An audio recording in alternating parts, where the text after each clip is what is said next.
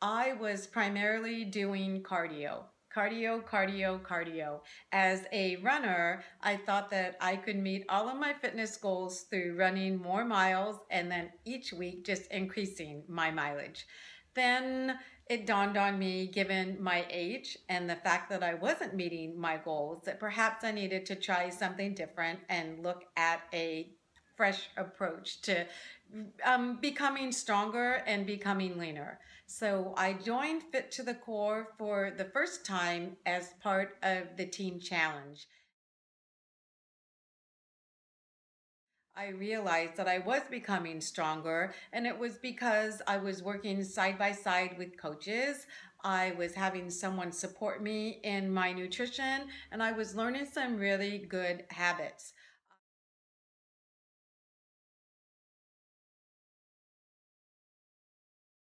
Habits.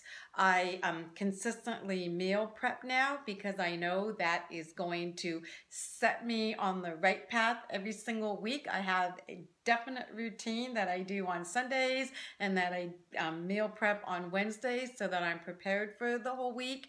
And um, the other thing that I've learned that's really important is that you need to have some motivation that is ongoing. So with that, I think having our strength programs change every six to eight weeks and then also having metabolic cardio switch up every month, it helps to keep the just the routines really fresh and it helps to keep me inspired and motivated every time that I come to the gym.